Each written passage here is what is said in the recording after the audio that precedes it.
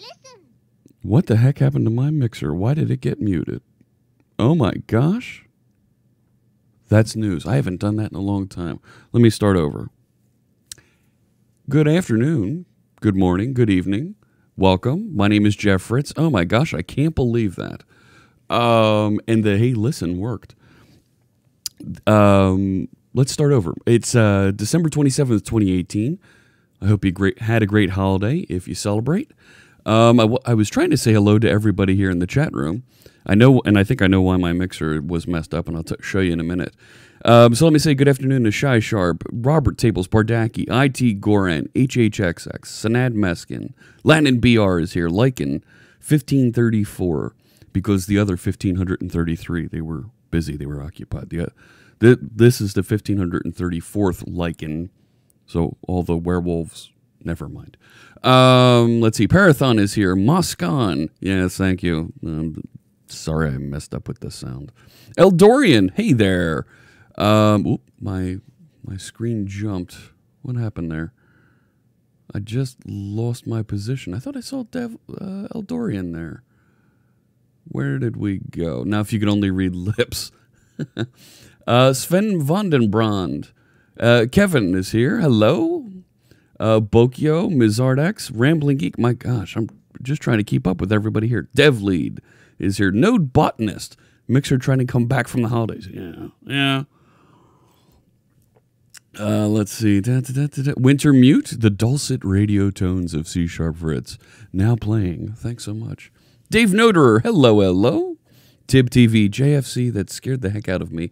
I was lurking while I was starting up. Hey, um, finally get to catch one of these live. Fantastic. Nicondria is here. Priyanshu Agrawal, hello, hello, welcome. All right. Where is the counter? Whoop. The counter? The counter? I'm not sure what counter you're referring to. Let me get things started. I'm wearing my Xbox hat today because I'm sure a lot of you, a lot of friends, may have gotten a game system like an Xbox for the holiday. So we'll celebrate and recognize that today. No Santa hat today. We're done our Christmas readings. And let's get some music playing in the background here. Um, I haven't played this one in a while. This is called Judson. And this is music to code by from our friend Carl Franklin. Let's get this a little bit louder. There we go. Much better. All right. This is music that's scientifically engineered. It's designed to get you in the flow, to get you in the groove, focused on whatever it is that you're working on, whether it's code, whether it's homework, whatever task you may be working on. It's designed to help you focus and let all those other worries just kind of melt away. Check it out. MusicToFlowBy.com is the app. You can go there, download a couple of songs free that you can use right now. Each song is 25 minutes long. We'll have this song on loop throughout the rest of the show. I want to put a big thank you out there to our friend Carl Franklin for letting us listen to his music while we're writing code together today. Hey, Ancient Coder, good to see you. Node Botanist, I'm, you're awake to watch live. I'm not going to be working on the Raspberry Pi today. Maybe I will. No, I don't think I will. I don't think, not today, but we should do something together. Definitely. Seems very lo-fi. You like it. Oh, thank you, Tib TV. Um, I'm and Nakandra. I'm glad you enjoy uh, uh, my voice. What's that music URL? Absolutely. Let's post that in the chat room. Uh, look at that. Fritzbot actually answered it for me. Oh, it actually worked. Uh, Stelzy. First, I thought I had something in my setup wrong. You played with the sound, and uh, I got it fixed from my side. Um, let me go over. So we've already had some folks say, "Hey, let's look at the counter. Can we see the counter?" Let's roll over to the tight shot. There we are, and I want to talk about this. Uh, we're at 4636 is the counter for the for my rainbow beard challenge. Of course, I've I've put this out there since about the summertime, um, and said if we get to this by a certain event, public event that I'm broadcasting at, I will dye my beard rainbow for that event. Um, we missed both of those goals. So uh, I'll just do it when we hit 5,000, and it won't be in public at an event. It'll be here inside inside my home studio, we will dye. It Rainbow. We're at 4636 of 5,000. I have a feeling we're going to hit that in the month of January. Node Botanist agrees we should totally pair program sometime. It'll be amazing. It'll be great because I, there's so much IoT great stuff. And I think you should check out Node Botanist. Let me throw a shout out out there. Node Botanist. They do a great job uh, talking about JavaScript, uh, Node.js, and IoT devices. More complex than the Raspberry Pi. Just about in the same area as the MXChip. There's the MXChip. Check them out. Um, are, you, are you doing a stream today, Node Botanist? Let me know. Ancient Coder says, "I hope y'all had a great Christmas." Yes, yes, I and that's not to not to steal from uh, our friend um, Noopkat, um, but I did want to do a, a, quick shout out of a, a, couple of the pieces of gear that I got for that I got for the holiday that are going to help me when I'm particularly on the road streaming. Um, Node Botanist is buying an MXChip. Very cool. Uh, hang on, Stelzy. Hang on. Hang on. We're going to get there. Uh, great seeing people here yesterday at Robert Table's stream. Yes, Robert. So our friend Robert Tables, you see him there in the chat. Um, he started a stream yesterday, first time, um, and he was talking about uh, Node.js and Docker. So if that's if that's something that fits into your programming stack, um, check out. Did, did you record a VOD? Let's put a shout out there to Robert Tables. There you go. Welcome to the Streamers Club. Absolutely. Um, if that's something you're interested in, check him out. I think he's building a schedule. It's, he did his first stream. I always want to support other folks that are programmers and that are streaming. Um, we're a we're a small community here of, of developer streamers, and I want to make sure that we grow and that folks learn. I know I I know I don't know all the technologies. I know my, my corner of the .NET space. I know it just enough JavaScript to be dangerous. You know what I mean? You know what I mean?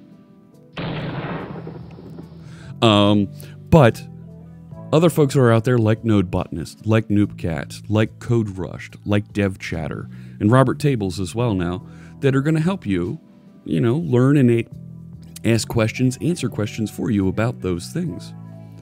Uh, yeah, Tables did a stream on Docker. Absolutely. Hey, Svava, good to see you. 4 p.m. later today, uh, 4 p.m. Eastern. All right. So throw throw Robert Tables a follow so you get notified about when he's going to be going live. So we're going to get there, Stelzy. Here we go. So uh, I got a, I got two things for the holiday, two presents that, that helped me out. Uh, Mama C Sharp Fritz helped me out with this. I got a new Elgato HD60. There it is on the screen. Here it is in person.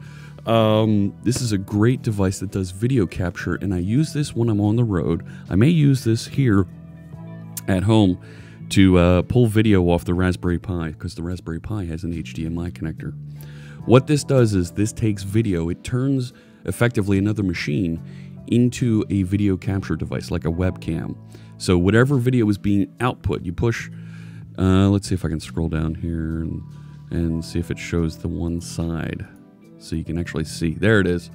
That's what I want you to see. So let me maximize that and let's let's go over let's go over to the big screen.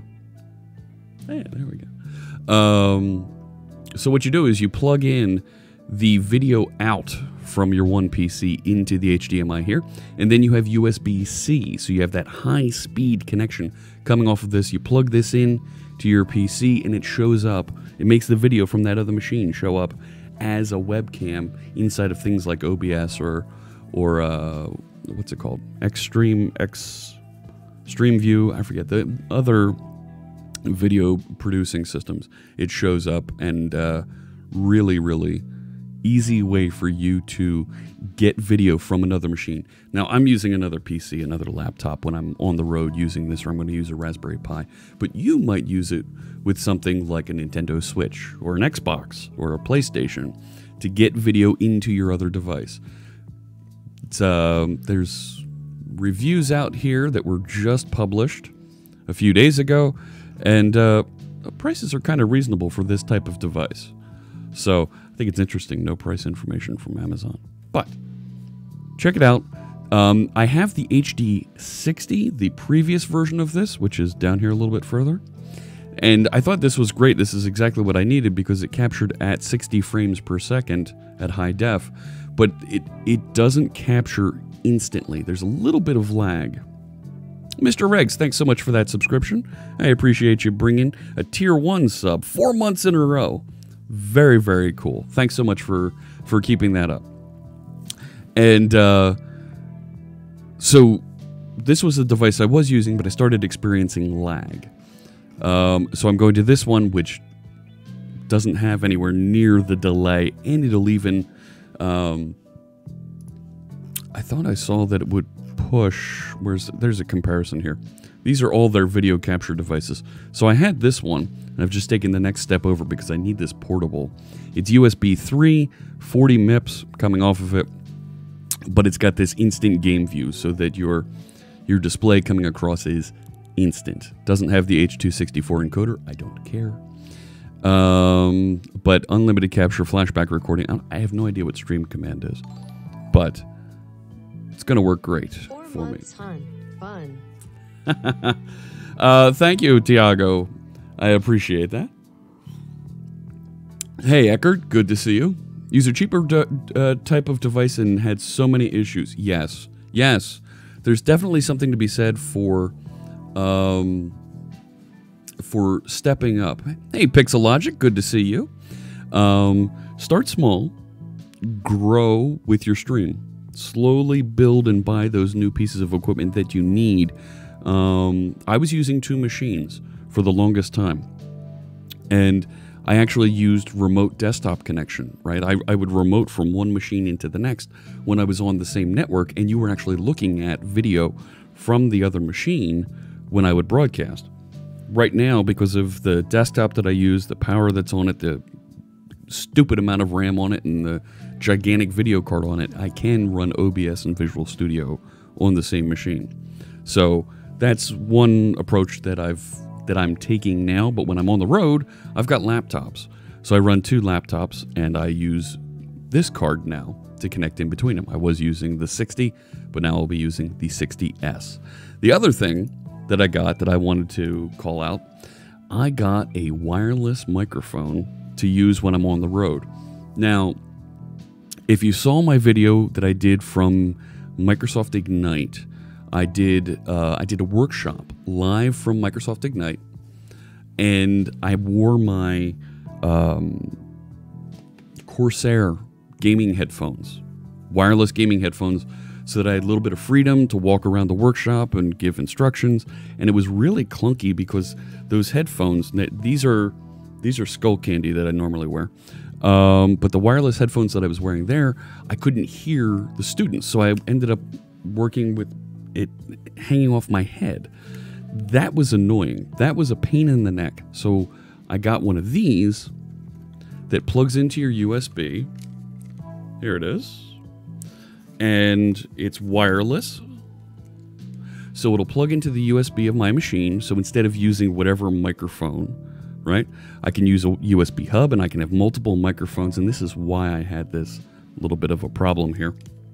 I was tinkering with this and getting it working with OBS. So it's wireless from the headset to the PC, and then on the PC, I've, it's got a fat USB dongle plugging plugged into it that'll receive the connection from this and go out. Now, this one that I ordered, it's really cheap at 40 bucks. Um, but you can run a number of these on various wireless, uh, uh, uh, right, wireless bands and you can effectively have a handful of po- folks uh, talking at the same time, some sort of a talk show if you want to host that. But not only does it come with the headset, and that's not like you, it doesn't plug in. That's not an audio thing there. That's just a brace that sits against your face. Okay. Um, but it also comes with a lapel mic. I haven't even opened lapel the lapel mic, but there it is, and that just plugs into the wireless base there, and you'll be able to have a lapel mic. So what I'm thinking um, it, at, is at my in-person events in the future, when I am giving a presentation and they do allow me to stream it, I'll use the lapel mic or I'll use the headset mic. Probably the headset mic, just because that's easier, it's out of the way, and it's not rubbing against my shirt. And I'll give my presentation. Um, let's see. Uh, Eldorian says needs one of these for BlizzCon. Eh, maybe. For many streamers, capturing is some kind of black magic with the capture thing. Some microscope cameras are having very outside the norm of HDMI standard. Eh. Catch the box also. What's catch the box? The Yeti is not portable. Agreed. So I was taking I was taking a Yeti microphone with me to various events, and I tried using it at the last code party. And uh, it's big, it's clunky, and it takes this ugly um, USB mini connection, not USB micro. And um, the folks at TSA see that Yeti microphone, they're like, what the heck is this thing? And they get real suspicious of you. Swappable batteries. This uses AA batteries. So absolutely swappable, right? And it's got a battery indicator on it. Fine. Fantastic. Uh, love all the gadgets have on the streams. Made a promise that I wouldn't get kit until I made a habit out of streaming. Yeah, take your time, get into these things, slowly build. I'm 13 months in and I'm still buying new things to upgrade my stream. Just take it easy. Hey, Fairy Wings. It's big and strange, but it works. Good morning. Uh, let's see, what do we got here? All right. Let's see. Uh, bought a Surface Pro 6. I love drawing on your colleagues' photos, says Tiago. Nice. Nice. Well done. All right. So that's uh, that's my two little gadgets that I got for Christmas. Anything get any, anybody get some cool stuff there besides the Surface Pro 6 that Tiago got? That anybody in the chat room got something cool they wanted to, to share and talk about? What is Catchbox? Y- you keep linking to this. What is this? Catchbox. Engage your audience with the world's first soft throwable microphone. ah, that's funny. Um, throwable microphone. Neat. You can customize it, put your logo on it. Oh my gosh.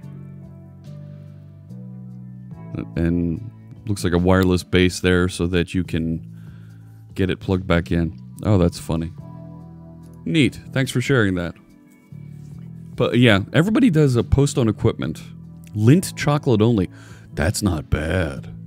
Wintermute got volume two of the Imposter's Handbook. Uh, our friends Rob Conery and Scott Hanselman wrote that. Very cool. I should read it because I'm always feeling imposter syndrome. And imposter syndrome is that thing that that just about every speaker, every every I want to say public face um, gets where you think, oh my gosh, I'm not good enough. I'm, I'm, um, did I do this right? Are people going to see right through me? It, that's imposter syndrome. Len BR got a new office chair. Very nice. Why does Catchbox Lite cost more than the Pro version? I don't know. How to get started, when to dive into higher equipment, good bargains. That's a great idea. Janescu, you're still waiting on the Surface Go? Yeah, right back to the folks there at Code Party. Talk to them. Lego Bugatti Veyron for DevLead's imaginary son. Very nice. Very nice. Christmas hat, Valtra power bank. I got my oh, Mrs. C Sharp Fritz. She saw my my carry-on luggage that I use when I travel, and it's all beat up. It's this old green suitcase, and uh, she got me a brand new one. It's got the four-way wheels on it. I still had two-way wheels, right? You can only pull it in one direction. It's got the four-way wheels on it, and it's got a power bank on it, so I can charge my phone when I'm at the airport. That's pretty cool. Uh, that was from Away. Away luggage. Um, yeah, here we go. So she got me the bigger carry-on with the ejectable battery. So one of these. That's kind of cool. Show me where the thing is. Yep, there's the inside. There it is. So I can you can charge your phone. You charge up this, and then the battery ejects, so you can charge it wherever. Mrs. C Sharp Fritz must listen to podcasts. Nope, nope, she doesn't. This bag has character, says Bustifer. Uh, Eldorian says he's been doing .NET for 10 years and feels like such an imposter. Yeah, but Eldorian, you got to build this year and you got to meet all the folks. You're definitely not an imposter. You got your stuff down. Uh, got a bunch of Overwatch statues. Oh, that's very cool. And a case to display your Patrick Mahomes autographed football. Sweet. So I have a football that's autographed by Ron Jaworski and John Bon Jovi because they owned well, John Bon Jovi used to own the Philadelphia Soul Arena team, and I've got that up here. And then behind me in the office, um, I have a helmet signed by, by John Bon Jovi. Got a job as a junior .NET dev. Says Strigoy. Uh, Strigoy? Congratulations. That is awesome. Big celebration for you. Where is it? Where is it? There we go. Love hearing folks that get their first their first job. Um, let's see what else do we have here. Uh, I'm going to get called out that I'm not an expert. Yeah, Hugo, that always feels terrible. You can give birthday gifts during uh, Sven Vandenbrand's uh, stream. It, today's their birthday. Oh, congratulations. Art9K got a Mackie Pro. That's the exact board that I have, the FX8V2.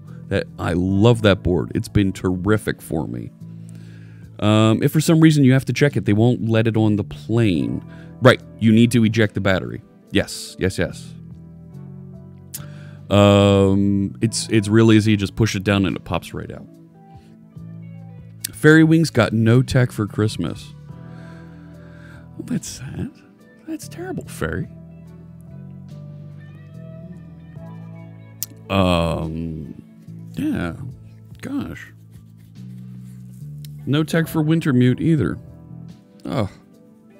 Sorry to hear that. Or Hugo. Um I I'm I know I'm fortunate like that that I've got a, a family that's able to buy me tech to to get me some neat stuff. Um but I hope you still had a good holiday. I hope you enjoyed it. Um, Eldorian got his wife Red Dead Redemption 2. Now, did you get your wife that, or did you get that for you to play together? All in good time. Yes, absolutely. A handmade Vortex glass globe. Ooh, that's cool. Send Fairy Wings more keycaps. uh, no tech either, but I was able to get some nice new cycling gear. All right, there you go. That's cool. All right, I wanted to get to. I had a question that came in on Twitter Let's take a look at this. This came in from Hackerspace Mumbai. And I think this is a, a good question that, that we can write a quick demo around and then show how it applies to some of our projects that we've been working on. And I feel like um, maybe early next week, I want to do like a year in review and kind of touch on each one of our projects and evaluate where to go from there. Uh, let's see here. I played video games, got to talk to Scott Hanselman. Well, Wintermute, that's uh, that's pre pretty cool. You got to talk to um, him. Some good Belgian beer. Nice, nice. Who's this Jason guy, and what does everyone keep talking about him? Busterfur says. Yes. Now, I, I, I do need to reach out. Fairy Wings, I have I've been having a real hard time finishing writing the tutorial that I wanted to work through with you. Can we do you mind if we reschedule? Will that work for you? Bought yourself a data science course. That's cool. Building and, and growing your career. Always great. If not, we can kind of. That's fine. We are going to postpone a little bit. All right. Thank you, Fairy Wings. Um, almost as annoying as that Ruby chick. let's so let's talk about this. Our friends at Hackerspace Mumbai, and I think they might, some of them might be here in the chat room, um, asked, uh, we're trying to convert an existing JavaScript project. So I know folks like Robert Tables and uh, Node Botanist have some experience in this, but trying to convert it to use .NET Core 2.1. Is there any of my Twitch videos or a public repository we can study on how to create a REST client that does the usual mapping and filtering of response JSON. So let me break that down a little bit for folks that aren't completely up to speed on what all that question means. Actually, let me zoom in a little bit there so you can see it. So, um, is F Sharp Fritz gone forever? Um, for now. I need to talk to my friends on the F Sharp team and uh, get my arms around uh, around a little bit that's going on there before we do that. Before we do any more F sharp. Found out yesterday giving your first lecture. Have no idea what you're doing. Ah, Tiago. That'll really help with imposter syndrome. When they say JavaScript, do they mean Node.js? I believe so, Sanat Meskin. Either JavaScript or, um, in this case, they're building a client. So I'm going to focus on on a JavaScript client that does this. Now, let me just break this down. You won 1500 for your first lecture? Wintermute. Congratulations on that. Hello. That's nothing to that wow. That is phenomenal. And now people know me. People know you. So the question here is is really around um, how to build a client, right? That's this is that uh, website or application that you're going to click into, you're going to interact with, and it's going to call a REST service, right? A REST service. Um, REST is uh, uh, oh, oh my gosh, I'm blanking on the acronym for REST. Uh, acronym. Let me make sure I get this. Representational State Transfer. So this typically uses an HTTP endpoint, right? HTTP, the Hypertext Transfer Protocol, the protocol that we use with our browsers to communicate to a web server. So a REST endpoint there is an endpoint that you can it's a it's an address it's a location on a web server that you can query with some sort of client piece of software like i said an application a mobile app a windows app a mac app a desktop application or maybe even a console application or javascript in the browser you can interact with that and the question is they're using a javascript client currently to do that interaction with that web service well how do you do that with .NET. Let's uh, let's show how to do that with .NET Core 2.1. I'm going to start a new console project, and I'll show how to create a new HTTP client is the object we use in .NET to communicate. And I think we'll use just one of the GitHub endpoints to show how to fetch data there. You can use Node modules in the browser if you build the packages correctly, says Robert Tables. Okay. Good job, Wintermute. Yes, um, yes, yes. You're less afraid of public speaking now. Representational. Thank you, Dojo God. Social engineering, a little bit. Psychology of manipulation and its applications to information security. Oh, yeah, that's definitely social engineering. Uh, you've testified before state senate before. Ooh. Um, yeah, that is definite experience. DNet78. Hello, hello. So let's uh, let's write a little um, a little client here that'll connect out and interact with the GitHub uh, endpoint. So um, if I look up the GitHub API, GitHub has, that's version 3, there's version 4. There we go. Um, so there is an endpoint here that you can interact with. Um, uh, payload must contain, and then you need to pass a header. We don't need a header for what I'm trying to do. I just want to do a query of a, that's for GraphQL. No, maybe I do want the version 3. There we go. Uh, oh, crap. Um, one second here.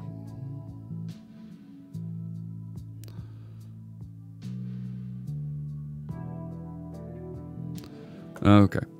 So what you can do is you can go to apigithub.com. Uh, okay.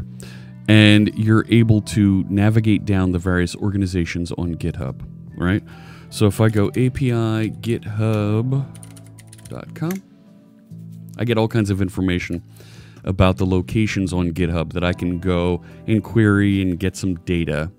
Um, about the different things that are going on on GitHub, right? GitHub's that source code repository where people stash their open source code. Um, let's see. It's good since I'm not keen on speaking. Do IT companies need QA engineers? Asks uh, Joe OY. Of course, yes, yes, yes. But I think what you'll see is that folks don't focus on just QA for their engineers. Um, they want folks to be well rounded so that on a on a Scrum team, on a um, everybody can kind of cover for each other. So they're looking for folks who aren't just QA, but can help with other tasks on the team as well. So it's it's good to to get a little bit of knowledge in programming in some of the other things there, but to be primarily QA with some of that extra knowledge is going to definitely help you. I learned to not be nervous doing public speaking after spending three years doing monthly safety training in a past position. Rooms full of people who didn't want to be there. Oh, Zathras 11. Yeah, I can I can definitely see why that would help with uh, public speaking. Um, go outside your comfort zone. Yes, and that's one of the reasons that you see me streaming so much here is I'm I'm trying to get more outside my comfort zone. You gave a lecture on computing ethics course in college, and the professor of the course nominated you for a scholarship. That's awesome. I gave a similar version of the same le- lecture that I regave to my school's chapter of the ACM, which is on YouTube.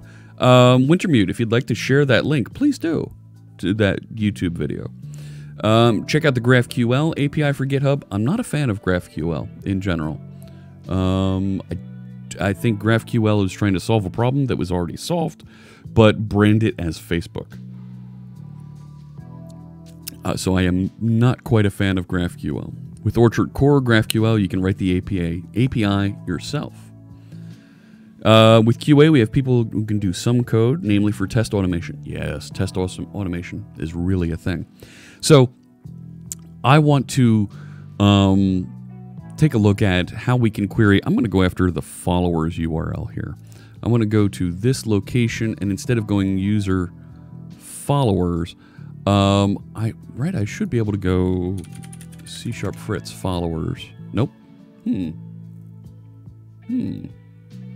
There's a way to go down through these, right? So I can go to like a organization's URL, like this one, right? And I can go to maybe Fritz and Friends. We created that organization, and here's information about that. I can get the list of repositories by going here. And this is a list of the project repositories that are out there. So there's the zeroth and only repository at this point. So I'm going to write just a quick, uh, a quick bit of code to fetch this and turn it into something that we can use. And I think I should use Visual Studio Code today for this. So let's open that. Here's Visual Studio Code. Um, and I'm going to create a new project here.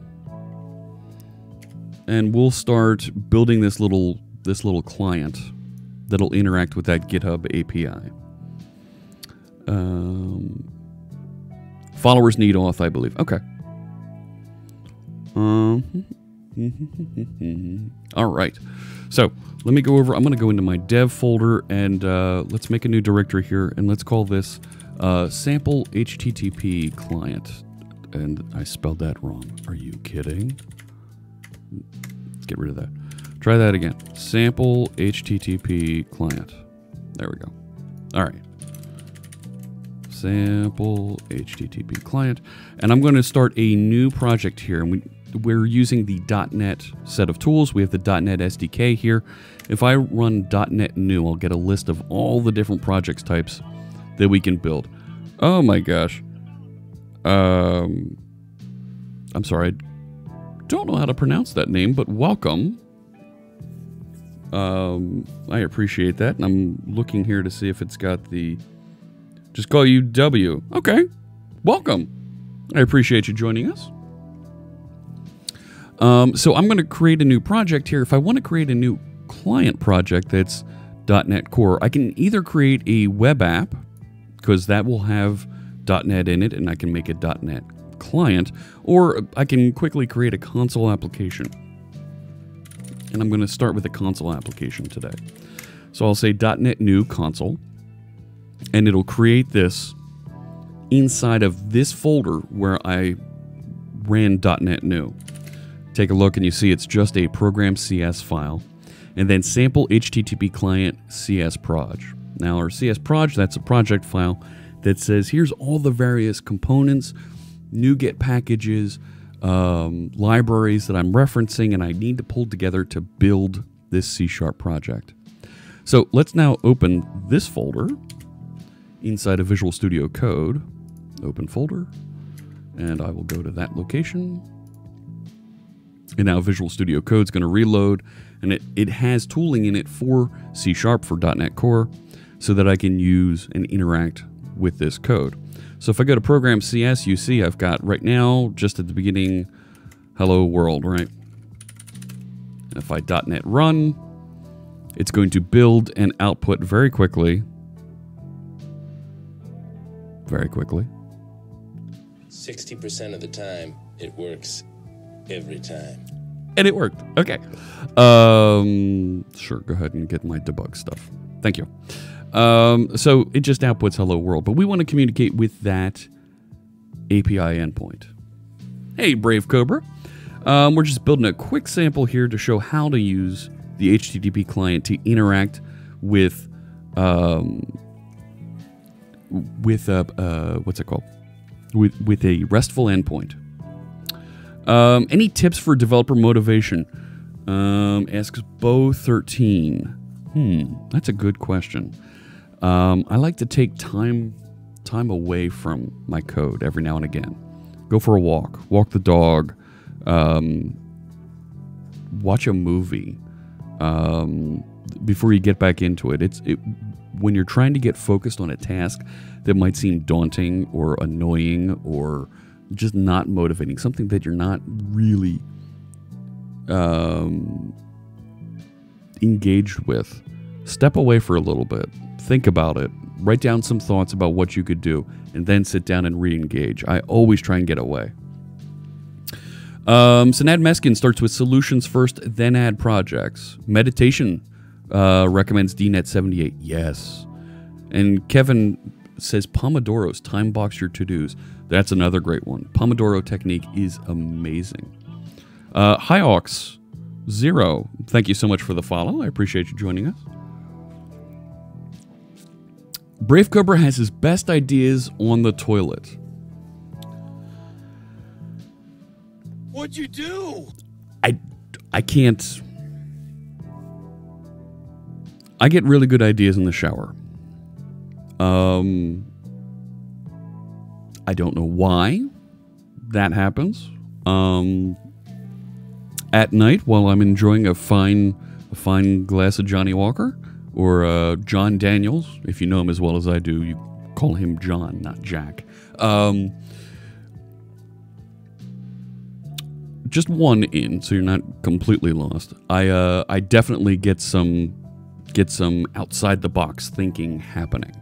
It, that definitely happens. I'm not suggesting that everybody drink, but getting figuring out how to lubricate your brain, if you will, so that you start thinking outside the box and you start getting some interesting ideas. Write them down. Yes, write them down as soon as possible. Shower, toilet, the car. Yes, driving in the car, right? And every phone has a has a voice memo system. Turn that on and record your ideas. Dictate to it. Um, Dojo God. HTTP client is mostly set up async to avoid socket exhaustion. Oh, we're going to get very much into showing some of that. Yes, yes, yes. As much as I hate it, exercise is good. Absolutely, while you're on a run, while you're on the treadmill or whatever.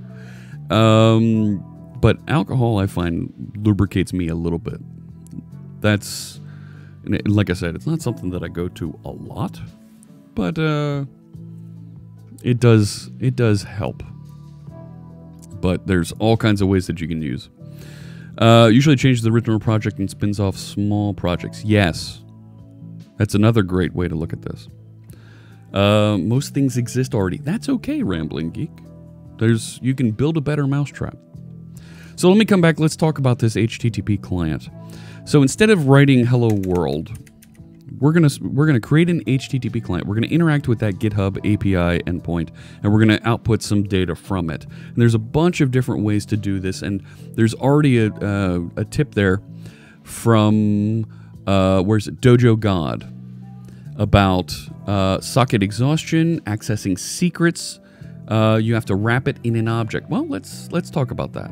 Let's talk about all those. How much um, have we raised for uh, well, I what I donated. I forget how many how much I donated to you. That was that that was what you're raising for. Um, but I've been I've been raising money for Girl Develop It, and we've raised well over two thousand dollars for them. Well over.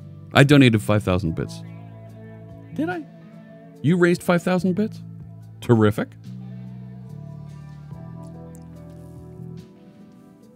Um, that's awesome. Congratulations. Um, so that was Node Botanists uh, charity that, that they were raising money for. RestSharp was good for REST. I want to show how to do this with, with the HTTP client. So I'm going to set up a, a, a client as a new HTTP client. Now, the, when you're inside of a console application, you don't necessarily have something that's managing the life of your HTTP clients. Otherwise, you will run into thread exhaustion. the base way to interact with it, when you create one of these, you want to dispose of these when you're building a client application. When you're on a server application, when you're going to have many of these things, it's a little bit different, and we'll show that in just a second. ASP.NET Core does a tremendous job managing the state. So, yes, there are all kinds of libraries that wrap it. REST Sharp, Flurl. There you go. There's Wintermute's talk. Fantastic. Thank you for sharing. I will copy that and put that into my list of uh, URLs here to watch later. Uh, what's my favorite development movie, or maybe top five? Asks Bo13. Um, I'm always a big fan of War Games. War Games was a tremendous movie, but that's not really a development movie. It's more of a hacker movie. Um, I I really enjoyed the Social Network, the story of Facebook. Um, I enjoyed. Um, oh my gosh, what's the Hugh Jackman movie with Halle Berry? Um, I am blanking on the name of that. Revolution OS. Swordfish, that's the one. Thank you, Wintermute. Revolution OS. I don't remember that one. Thank you. Uh, Winter Mutant Dojo God. Yeah, yeah, yeah. There you wow. go. That's what I remember. Swordfish, I think, is probably one of the top ones. The Matrix doesn't. It that's not really a programming movie, but uh, seem to remember Microsoft recommends HTTP client be one global instance. Hang on, we'll get there. We'll get there, Gunbert. Hackers was a, is a great one. Don't mention hacking the Gibson to blowdart. Don't do that. Yeah, Revolution OS. I do remember seeing that. Now that you mentioned that it was the development of Linux, I didn't. That's not a movie. That's more of a documentary. Terrific, but it's not a fiction. It's not a right. Social Network is a bit of a documentary, but not really. Silicon Valley, yeah. Um, so if I set up HTTP client like this, which you can do, and you won't exhaust when you're using it inside of an application like this, right? Because it's it's an endpoint. You're not you're not saturating your network card because you're also the server. I can start specifying some of the properties for this client so the base address that I'm going to go to is here to get information about the repositories. Now, base address is actually a URI. So let's make that a URI, not name of. You make me sad. Visual Studio Code. All right. Um, and then I can say, um, I can interact with it a whole bunch of different ways here. I can set additional headers here. Where is it? Uh, um, right? Where's the headers? Default request headers. And then I can add some additional headers here, except, right? Expect from, I can set all kinds of things in here to interact with. There's a way to set um, ones that aren't here. If I say add, you can add additional ones that properties aren't here. And I do that actually if you look at my, well, I'll show you the existing code that I have that does this in a little bit. Um, but I do want to say except, um, yeah, the media type, right? So now it's giving me a red line here because it wants cannot be used like a method. Okay, fine. Um, right. Cannot be assigned to. It's read only. Well, where is it? I want to say, um, I want to accept text.json, right? Gets the value of the accept header, returns the value of the accept header for an HTTP request. Um, it's not, it's not accepting coding or accept language. Right? What am I thinking here? Matrix is Linux based. uh, my top five books about programming. Slash at the end of the URI. Is it a, is there a slash at the end? No, there is no slash. Add it. Ah, there it is. Thank you. Right, and now I can provide the media type with quality header. Ugh. All right. Media type. No, that's not it. I want to just provide like right? Um headers media type with header with header value. So if I copy that, paste that in there, I don't want that whole thing. That's going to be annoying. Uh parse? Do I have to parse that? Ugh. All right. Application dot slash JSON so that it knows that I'm actually doing, that I'm expecting JSON to come back. There we go. So I just added that using statement up here to the top. So now it should accept JSON. Parse add? There's a parse add? Oh, that would be so much easier. Thank you. Good call. All right. So now I've got my client. It knows how to interact with it. It's expecting application JSON to be returned. That's JSON format in case there's APIs that know how to do things like XML as well. Uh, there we go. Um, all right. So when I want to actually now fetch that data, now why am I on a different column? That's weird. Right? I'm going to say client.getAsync. Now it's going to get it asynchronously. And you can specify the URI at this point. Um, if you don't have a base address, right? I'm forcing everything to this same one. So I don't really care. It's going to the same. Um, I should probably do this and put this here. So now it's asynchronously going to get it. Now that get async is going to return a task right? So this is kind of like promises that and async await that you see in JavaScript as well, but it'll return a task asynchronously. And that task contains markers, information about the pending request that's going on in the background. And it will return an output into this task object status information about it. So I can do things like say, wait for this to happen, do whatever, or I can force this back to asynchronous by saying get awaiter, get the thing that's awaiting, and then uh, get result. So this will actually do the await and get the result. I'm not in an asynchronous method here, so it doesn't know to do that. Devlead is correct. In new versions of C Sharp, main can be async. So wonton violins, I can't when when this is a synchronous method, like it is now because it's just static void, and I'm synchronous, I can't do an async here. I could do something, right? I could do something like task. Um, right, if I if I return this as a task, like that, I can say uh,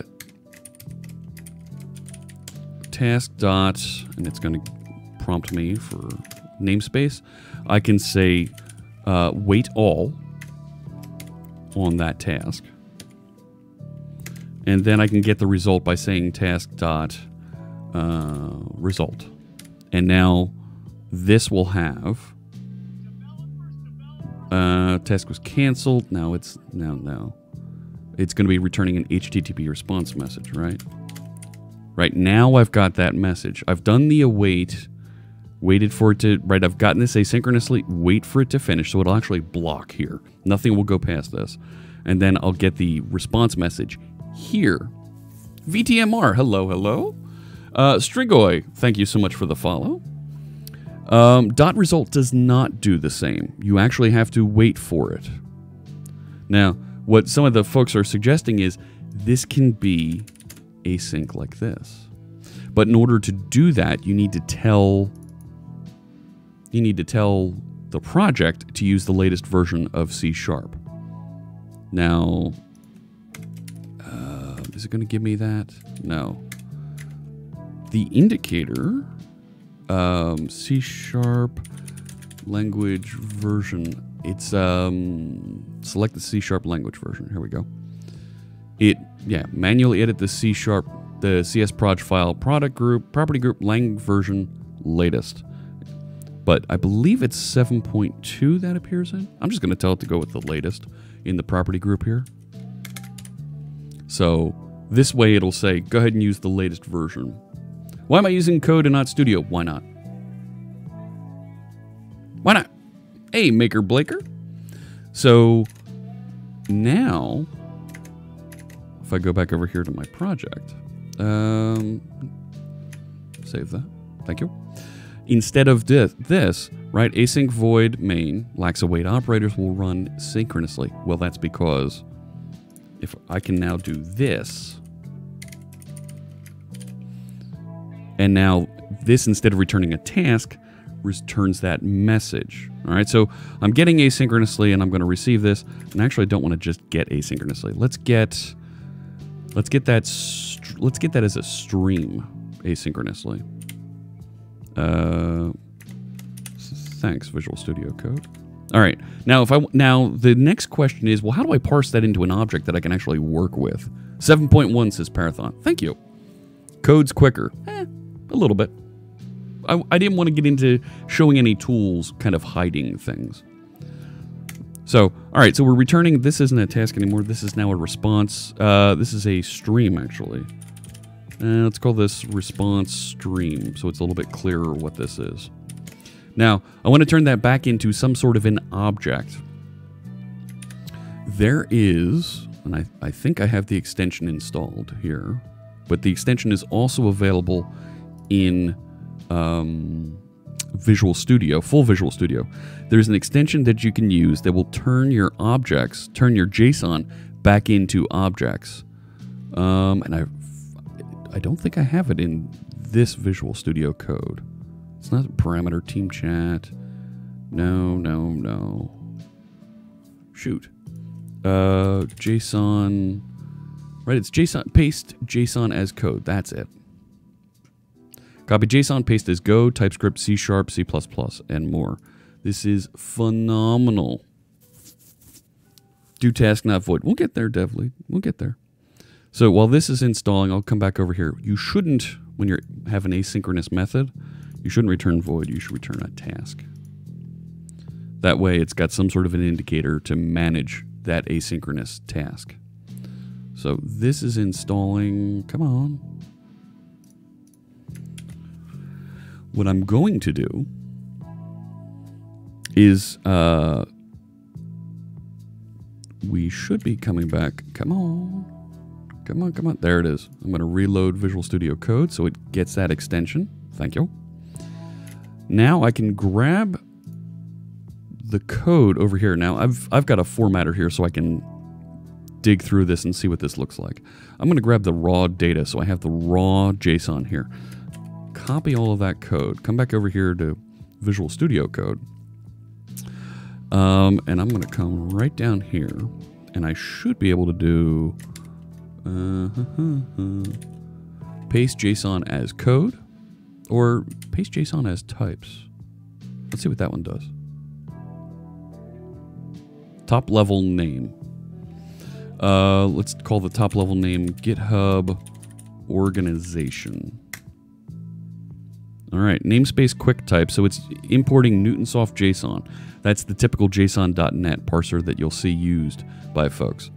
Uh, but there's my GitHub organization, and here's all the properties that belong to it, all built out for me with the appropriate JSON properties and everything I need.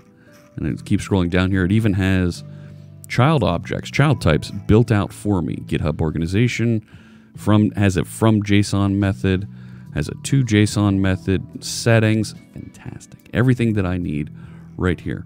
So what I'm going to do, I should be able to do, is uh, I'm going to go all the way up to the top here. Come on. Grab this. I'm going to control dot on it, and I'm going to move it to its own file. So you can see the file list there. So there's the GitHub organization. And uh, here's a partial class called license. Let's move that to another file. Owner, yep, go somewhere else. Permissions, you two, get out of here. Um, partial class for GitHub. Oops, no, no, no. I'm going to take you and put you in that same GitHub organization file. I just did a quick format there. Just right, so that should fix. No, it didn't fix it. Whatever. All right, now I've got some red lines here because it doesn't know what these things are. Let me control dot. Um, hmm, hmm, hmm, and I've got an extra namespace. Let's get rid of that. Um, take you, move you up here. I like my using statements up at the top. I'll look at the chat room here in just a second. So I've got this extra. That's fine. Make that look nice. All right, now JSON.NET is not part of this project yet, so we need to import JSON.NET. I should be able to add package, no. Install extensions, no. What is it for NuGet here? I thought there was a NuGet command.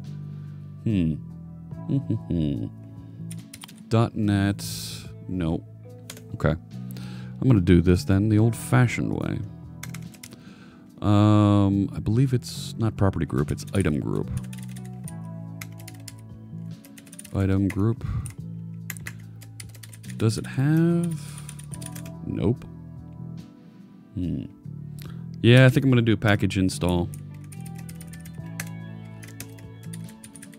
No, package isn't here. Um, that's fine. We'll do this. Let's do this at the command line. So I did a control back tick to open the terminal down here. Come on, PowerShell. This shouldn't be this hard.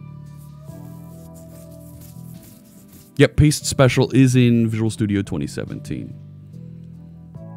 Um. oh, you got to try it out, Lannon. Yeah, yeah. Come on. This is taking its good old time here. That's annoying. Oh, thank you. Um, we should be able to .NET add package newtonsoft.json. And this will add that package. There it goes. It's going to grab the latest one, writing lock file to disk, restore completed, and if we look at that csproj file, nope, don't modify that. Now it has that package installed. All right, so that's done. And there's tools to do that automatically in Visual Studio 2017. But with that in place now, I can control dot on these and get my using statements. Looking in the tray over here, you can see where these red items are. That's where there's still things that it doesn't quite understand yet. So that's an owner's object it doesn't know what to do with. Down here, license it doesn't know what to do with yet. Permissions it doesn't know what to do with. We'll fix those in just a minute. License is over here and it's in, yeah, it's in this extra namespace. So let's control dot and get that using statement in. URI it doesn't know what to do with. Just some quick control control dots to get it to automatically find that and fill that out. So this file's clean. Good. Don't need to think about that. Next one clean that up and control dot, get my using statement in here. I could have put the using statements in before I moved these files and it would have made it a little bit easier. I still have a red here. Ah, that bit. There we go. Good. Owner's done. Permissions. Da, da, da. A heck of a lot easier to do than trying to discover and figure out, well, what are all these things that I need to build? There we go. Permissions is done. All right. Anything left over here? Let me get rid of that extra namespace so that everything's still in my namespace. Um, so here's a class called converter. Let's move that out. Go somewhere else. Class called serialize. Yeah, you go somewhere else too. We don't need you. Get rid of all that. Program is clean, no red here. Um, all right. I've got a red bit here. Where's that? Uh, I can get rid of that. Converter. Hmm. JSON convert deserialize, and it should be grabbing the converter objects settings. Well, converter's over here, internal static class. Let me fix up some of these. Uh-huh. And date time styles. Did that help? Yes, it did. Cool. One less thing. All right. And my serialize. Need to fix that using statement. Good. All right. So now I think we're in a better place and I can convert. Didn't they build JSON directly into .NET Core yet? They're they are working on it. Yep. Um, they uh, the Visual Studio channel is um, I'll throw a shout out for that in here. Real easy to find. So now I have I have this message, this stream coming back, and you saw I've got a converter class over here um, that has settings that it's returning, but I can serialize and deserialize very easily here to JSON. Or where is it? I can deserialize this as well. Right, so it's taking in oh, it's taking in a string. No problem. So instead of returning this, instead of getting a stream, I'll get a string, not a sting. String. Let's call that a response string. So now I can turn that into a GitHub organization by saying GitHub organization dot from JSON. Response string. And now this contains an array of GitHub organizations. Um, let's uh, let's take this outside of here. And let's say GitHub organization. Let's say um, Fritz and fr uh, friends. Okay, and I know it's the first one of these.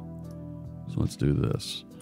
Fritz and friends equals that, and the zero width. Cool.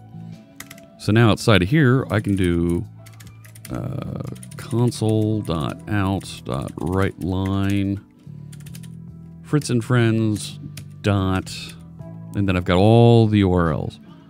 Right? So let's just grab full name.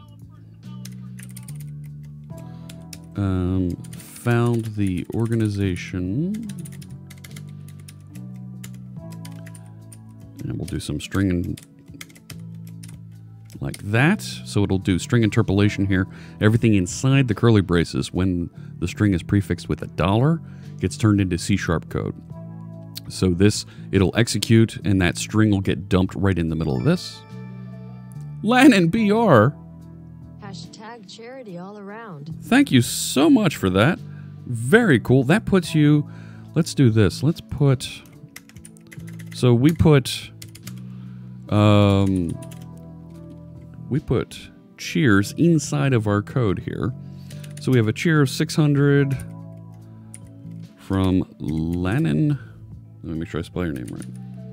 BR on uh, 12, 1227, 2018. That cheer graffiti will just hang in there. We do have the cheer attribute. I don't want to attach it to this. Um, and because you cheered with that charity tag, $393,000 have been raised by Direct for Direct Relief. That cheer tag means that 20 cents on that cheer will go directly to Direct Relief through Twitch. And of course, I'll make a donation to Girl Develop It based on that cheer as well. Thanks so much. I don't want to get into the cheer attribute just because that that's going to complicate things. I want to make this a simple demo. So I'm going to write that and then I'll just do, I won't even do a, a read line. We'll just have it output that. Let's have, let's build this and make sure that everything works. So I'll use the terminal here in Visual Studio Code to build.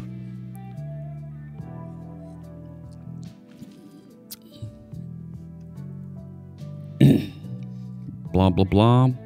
Build successful. Good. So now if I .NET run, it should run out to apigithub.com, reach into this repository, and it's telling me that that location is forbidden. Interesting. That should have worked. Hmm. Interesting. Why did it let me do it here? Is it because I'm logged in? Node Botanist! Thank you so much for that kind cheer. Charity. Yeah. We'll drop that in here. Thanks so much for that kind cheer. I should have been able to get to this even when I'm not logged in. Let's go to a new private window. See if it still gets there. It still gets there. Even though I'm not logged in. APIGitHub.com, orgs, Fritz and Friends, and even if I go to repos, I still get it. Hmm. That's interesting. I think a forward slash at the on the endpoint is the problem. Is it this one? Let's see if that. Nope, still a 403 on that. Hmm. Yeah. Doesn't like it. I had this working and I have this working in another demo. Hmm. Let's see. Um, what do I want to do here? How should we do this? If I go like this, right? Kind of reorganize how I'm doing that query. Is that going to grab it? Nope. Still a 403. Why is it giving me that? Hmm. And then if I go take it all the way down.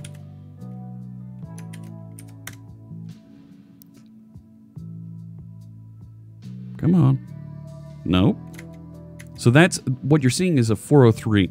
GitHub is for some reason rejecting it. F12 to see the request. I can't F12 and see the request. Is the parseAdd messing with something? I hope not. Tell you what, let's even cancel that. Let's remove that. Grab this. I should have to tell it that I'm requesting JSON. No, still a 403. It's not this. Um, that's so interesting. Tell you what, I'm yeah, I'm gonna cheat. Um, because there is a demo that does do some of this, and it's under .NET presentations. Uh, and it was in the ASP.NET Core 2.1 workshop. And I there's nine repositories here. Um, no, it's not in one of those workshops. Um, it's a workshop I used at Build. I think we're missing some headers that GitHub is expecting or authenticate. No, we're not doing authenticate. We shouldn't need to authenticate. Uh, I could skip the base address altogether. Let's try that. Let's. So if I comment, I'm going to copy that, comment this out. And if I just tell it, go get that location. Nope, still 403. That's weird.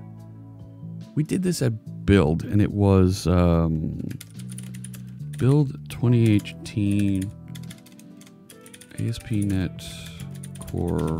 It was like the 2. Point, ASP.NET Core 2.1 workshop. No, that's not the right one.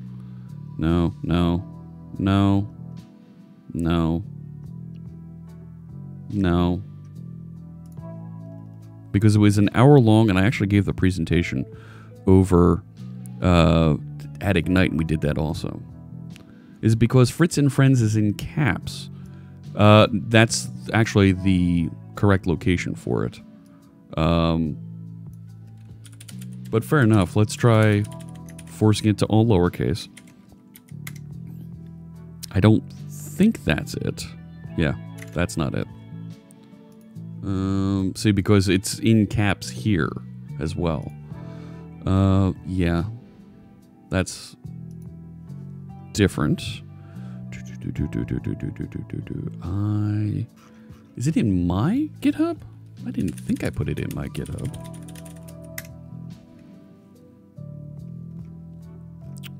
Uh, let's go back. More activity.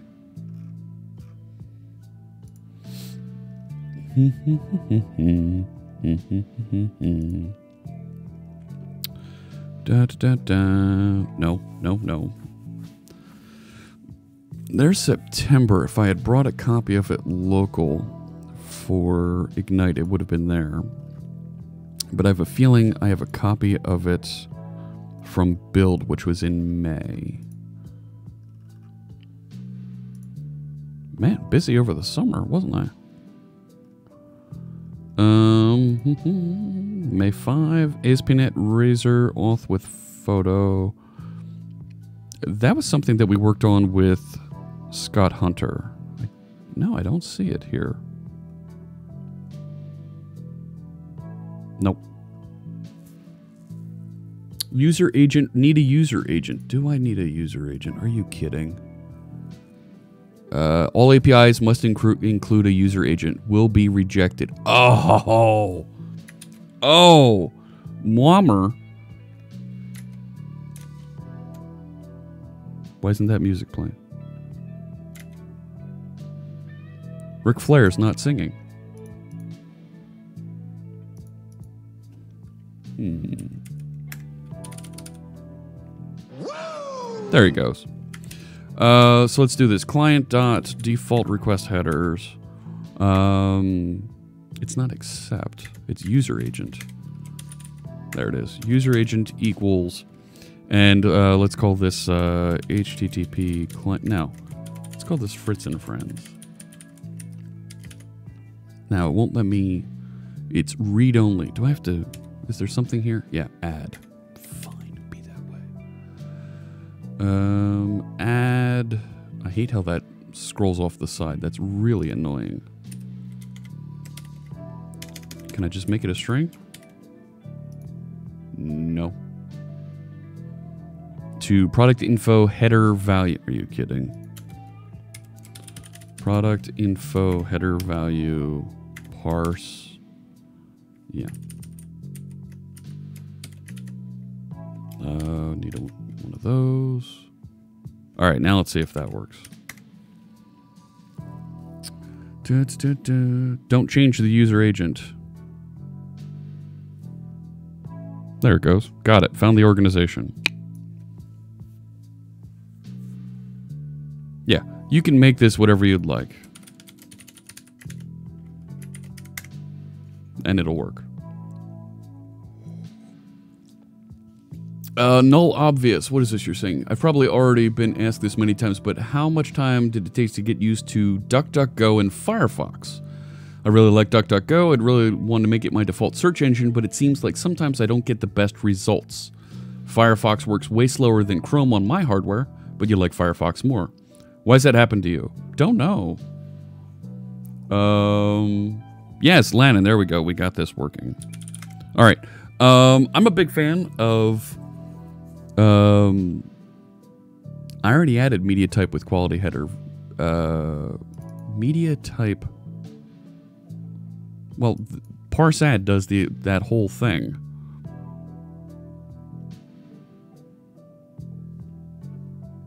Right? It's a shortcut for that. it does. Uh, it is very, very simple for things like this. Very, very simple. So folks will wrap this and do different things. So as a quick sample, there it is. It's fetching data and bringing it back. And if I make the base address, let's see if that works now. Right, this should work.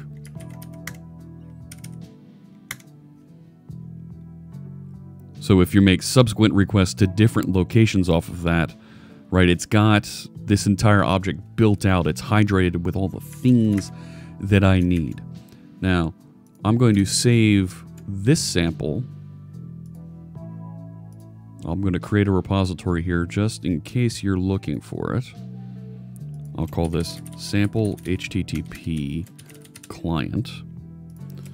A simple .NET Core console application to demonstrate using HTTP client. Now, let's initialize with a README and a gitignore for Visual Studio. Uh, MIT, I don't need Dependabot and I don't need pipelines. Okay. And uh, we're going to copy that location and I'm just going to um, git init here. And I'm going to git remote add origin that location. I'm going to pull that in. Origin master, track that upstream. There it goes. I'm going to add all my stuff to it. Uh, completed initial demo. Yeah, yeah. All right. I sign all my code. There it is. And now we'll push that back up.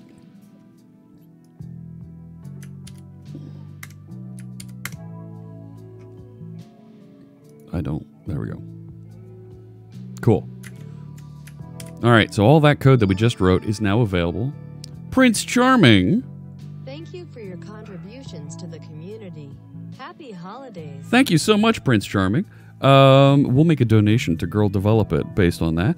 And uh, fantastic. Thank you so, so much. In PowerShell, you can use, you can force it to use the TLS. Yes, yes, yes. Um, so, real quick, before I get too far here, let me just drop in one more here from Prince Charming. Thanks so much. Uh, let's include that. Added cheer from Prince Charming. Very cool. Thank you so much. So many cheers. Absolutely. All right. So that's the simple code to do that. Now, there are ways, and there was some comments earlier about doing this asynchronously and making sure that you don't exhaust your network connection. When you're particularly running inside of an ASP.NET Core application, you want to run a little bit as a singleton. You want to have the state of it managed. And I have some samples that do that inside of my uh, Stream Tools project. So, Prince Charming, thanks so much for the cheer. Oh, wow, Kato Koki. Thanks so much for joining us. Or is it Kato Koki? Been lurking for a while, just started following. I appreciate the follow. Um, thank you so much. We're at 4640 followers.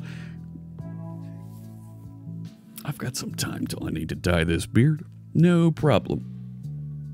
I do have some examples about how to use the HTTP client a little bit differently um, available inside my Stream Tools project, and they're a little bit more advanced. And I wanted to show the simple scenario before I showed you a little bit of what's going on in here. So inside Stream Tools, um, I configure all of my HTTP um, client information down here in Configure Services. And I actually have a, a piece here that goes and connects to GitHub. Compunutter. Compunutter. Thanks so much for the follow. I appreciate that. Uh, port exhaustion based on some samples. So, and this is the way to get around that. So, inside of ASP.NET Core, we have this iService collection that manages all of the instances of your ASP.NET, um, all of your ASP.NET dependencies, and injects them appropriately. Well, this will manage them. It manage your HTTP clients, and there's now a, an extension method called Add HTTP Client. And what you can do is you can there's several different things here. You can have a named HTTP client like GitHub that you create and you have configuration you pass in. So things like, well, here's my base address, here's my default request headers, and add this information in there. Wow, the follow train is strong today. Dust Ward. And here's one coming for Salzian. Thanks so much for the follows. I appreciate you folks joining us. And I look forward to see- seeing you in the chat room. Does anyone know of a comprehensive book on Core MVC 2.1? Asks Wintermute. No. The problem with books is it takes about a better part of a six six months to a year to write them, and by the time that you're done writing that, the next version is out. You won't find comprehensive books on that. It, it just takes too long. Heroxis or Herosis. Correct me on how to pronounce that. Thanks so much for the Twitch Prime subscription. I appreciate you joining us, and we'll make donations to Girl Develop It based on that. So by doing this add HTTP client, when you request an HTTP client later inside your application and you request this name, it's already got this configuration and it will give you that capability and manage the number of those clients for that named type. Now, as a named type, that's nice. It's very weakly typed. You get an HTTP client object that does that, and it's it's so-so. It does it does the thing. Um, but there's another one. Now, so here we're doing the same thing with the shout out command to to interact with that. I thought I had a strongly typed HTTP client in here. Um, do I have that somewhere? Is it in one of my other samples? It's not in Stream Tools. It's probably not in Core Wiki. Do we um let me come back to your question, Brave Cobra. There's um in the docs you'll see this. Um and there was to the question about um, using DuckDuckGo, right? You can actually do things like this and say um, and say HTTP client, and it'll search specifically that site. And if you don't like these results from DuckDuckGo and you want it to go to Google, just give it an exclamation point G. And DuckDuckGo will route you over to Google. Maybe you don't like Google. Maybe you like Bing. Exclamation point B, and it'll route to Bing.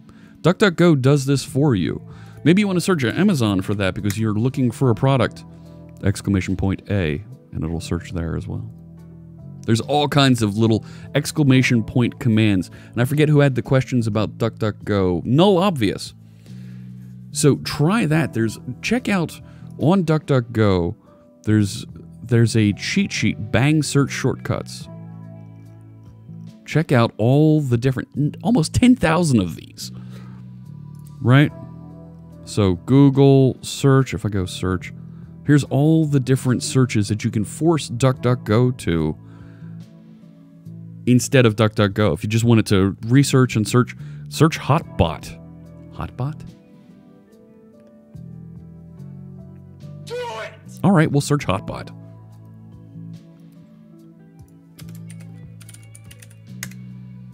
And it'll reroute and search Hotbot.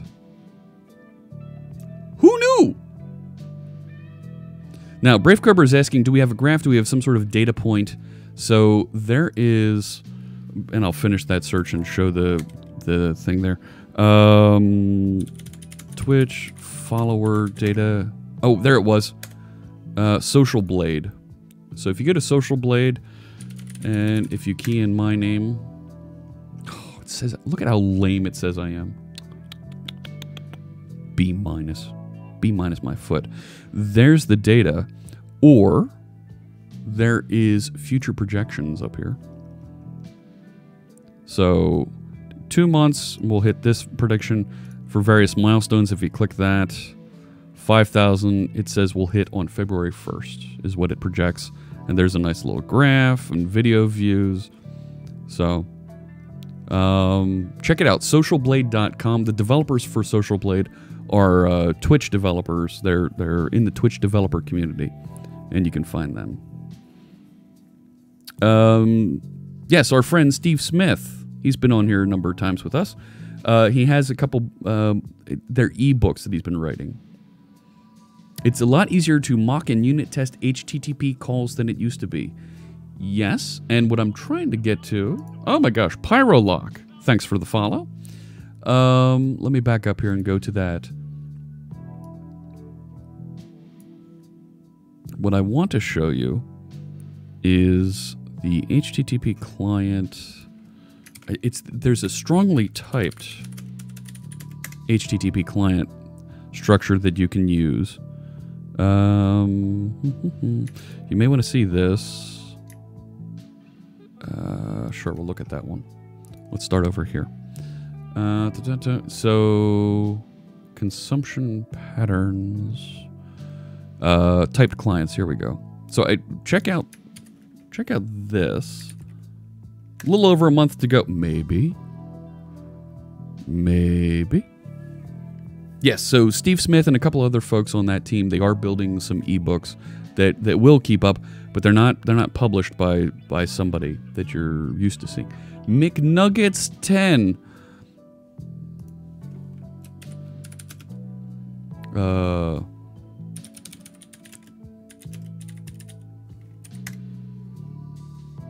Oh, Bang YT will take you into um, into YouTube search. I'm into nuggets, y'all.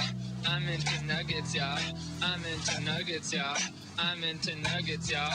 Okay, I got to mute that before our Twitch comes down on me. Um, welcome, McNuggets.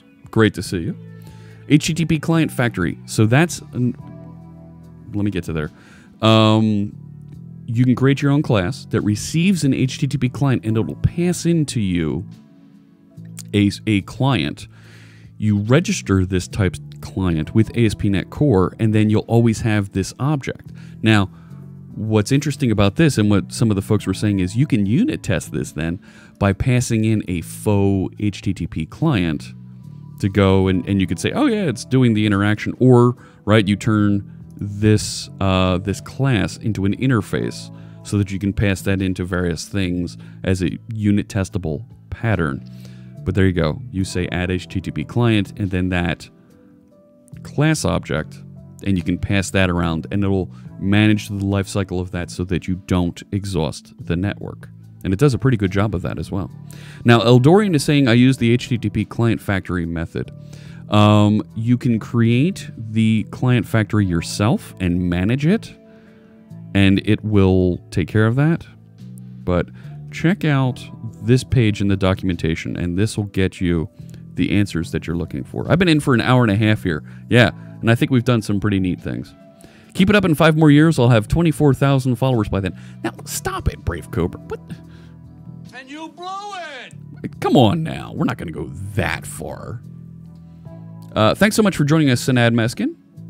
Um, okay. So that's a bit around HTTP client. You can use uh, Polly to resiliently uh, handle transaction faults and do retries on a regular basis. Um, to make sure that you get something in case the service on the other end goes down. All kinds of different configuration and capabilities that you can do there. Logging you can set up with this. Okay. So really, really great stuff. They've done a they've done a tremendous job with this. So check that out, and that will get you what you need, I believe, around building HTTP clients and interacting with it. All right. So that's for our friends at Hackerspace Mumbai. I hope I answered your questions and, and got you there. Hey, Malfunct. Hello, hello. Yes, Polly is pretty cool. Um, all right. I want to talk about So I've, I've dipped into Stream Tools here, and this is the project that we've been working on recently. We're building various features onto um, onto the stream. It's very meta. Um, it makes building API clients that much easier. Very cool. So we've been doing this very meta interaction here, building tools for the stream, including these numbers that you see here below me, the 46, 44, and the 103. Those are numbers that are being queried, fetched with an ASP.NET Core service. You saw it. Uh, it's inside this project, Stream Tools. This project, Stream Tools. Ah, so you got to point at the right place, Jeff. And uh, no problem, Dojo God. Um, always happy to answer questions here live on stream and, and get folks the, the help they need. Um, and please, if there's if there's anything we need to follow up on, uh, drop me a line on Twitter. I'm always here uh, Tuesday, Thursday, Friday, Saturdays. Um, Saturday, well, I'm going to be Saturday this week, but I'm moving to Sunday on a regular basis. So, went to user group the other day where the presenter was talking about Polly, not realizing the creator was in the audience. Oops. Oh my is right. Um, right, and then you you want to reach out and you want to you want to say to them, Throw me a frickin' bone here. you know, if there's something I'm saying wrong, help me out, you know. Um, so we've been working on this very meta project here. And, oh, it also does this Stream Tools project also does the rainbow beard gauge that you see over there, and the GitHub tracker up at the top. So, hey, there's Ellie Face. Hello, good morning. Ron Crease, welcome. I appreciate you joining us. Uh, didn't go to evil medical school to be called Mr. Evil. Yes, that's right, Wintermute.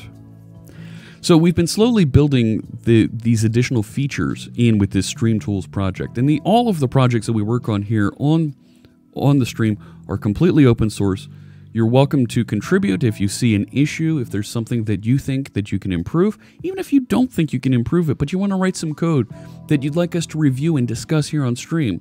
I think you've seen we're not intimidating. Nobody here is a bully. And if they were to bully in the chat room, It can be done exactly how I want it. The only question is, are you the man to do it? darn right I'm the man to do it. We're going to punch you out of here. Because bullying in the chat room It's illegal in nine countries. It's illegal in nine countries. Um, no, uh, Eliface, you are not a bully. No, absolutely not. You can do it! No, not you. You're a moderator. Fight you. Uh, no, don't need to. Um, we're we're doing just fine here. You're about to get a serious beatdown. No, no, we're not going there.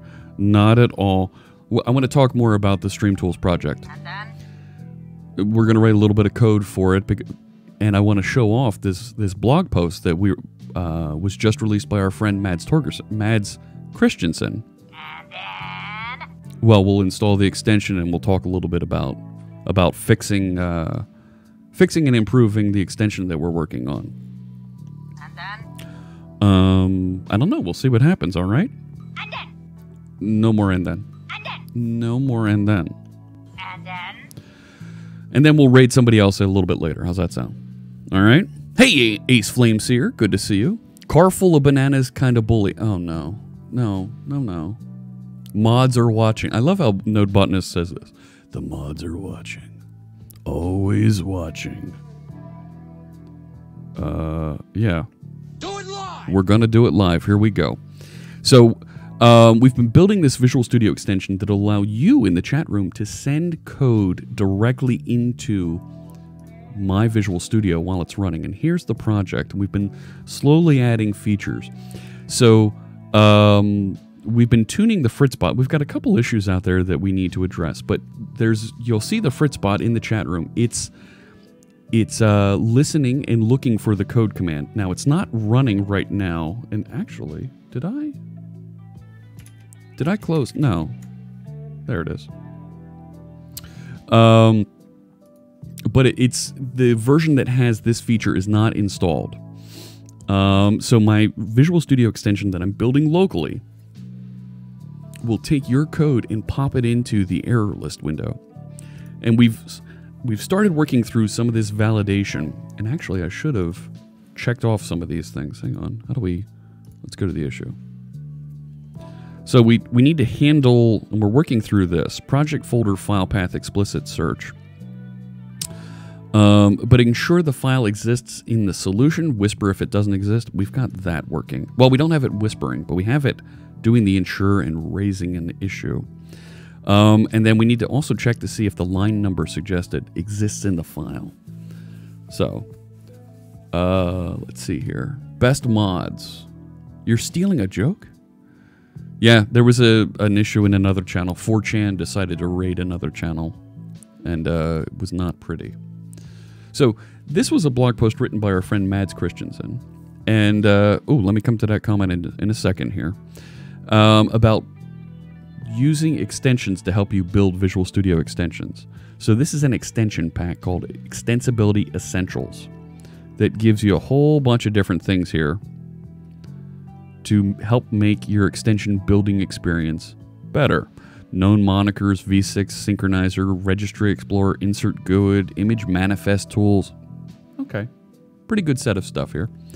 Um, so I'm going to drop out of Visual Studio Code and we're going to flip back to full Visual Studio and I'm going to open our Stream Tools project. There it goes.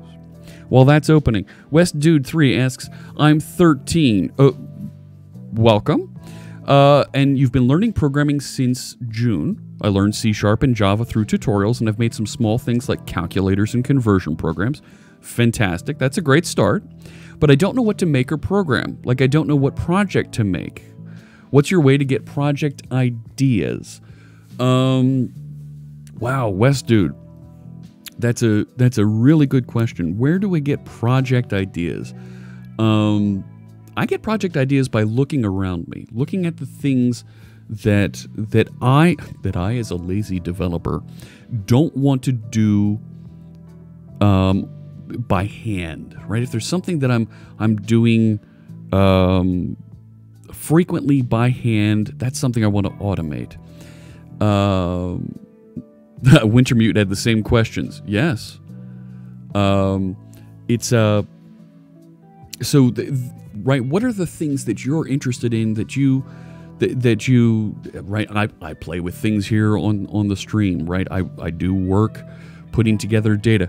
Brave Cobra had a great question there around. It'd be great if we had um if we had some data that we could get to to interact with around the stream, right? And that's kind of meta, me trying to solve problems to make managing my stream better, right? That's kind of what I work on. But for you, it it might be I don't know, a way to keep um, at, at, some point college applications organized, right? Tobo Nautilus, thanks so much for that subscription with your Twitch Prime. I really appreciate that. Um, whatever it is, right? If there's something around you that you're doing on a regular basis, um, or right, you could interact with with the Amazon Echo. Maybe there's something you'd like to be able to say to your to your Echo Dot, right, or or right the Echo device to get it to to search for something or do some sort of a task for you, what's something that you do on a regular basis that's that's annoying, that's yak shaving, that that bothers you, that oh, I gotta go look this thing up again.